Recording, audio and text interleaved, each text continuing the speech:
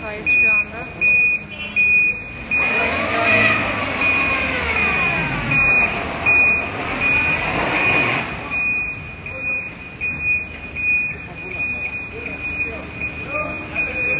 Çamurda bu araba çıkar?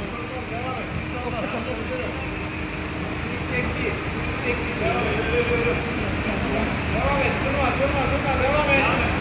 Öbür taraftan çıkamadı arkadaşlar. Bu taraftan çıkmaya karar verdiler.